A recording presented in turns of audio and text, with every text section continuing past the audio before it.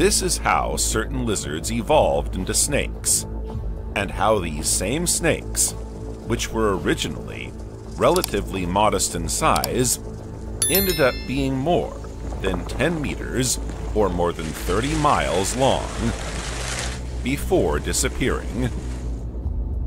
The adventure of the first snakes began during the Mesozoic era. This period of geological time is marked by two major biological crises. It began 251 million years ago, in the wake of the Permian extinction, and ended 65.5 million years ago with a new catastrophe that triggered a mass extinction. The Mesozoic lasted more than 185 million years. One of the main features of this period is that Pangaea,